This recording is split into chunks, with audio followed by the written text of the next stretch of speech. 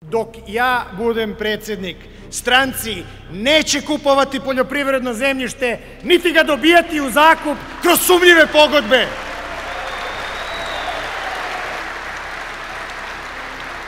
U suprotnom, doživet ćemo da nam Arapi budu gazde, a Nemci uče svinjogojstvu. Rasprodaja državnih i nacionalnih resursa se okončava u aprilu. I zato uvaženoj gospodine vlasti poručujem i ovo, ne gubite vreme u tajnim pregovorima o prodaji EPS-a, jer vam ja taj zakon nikad neću potpisati.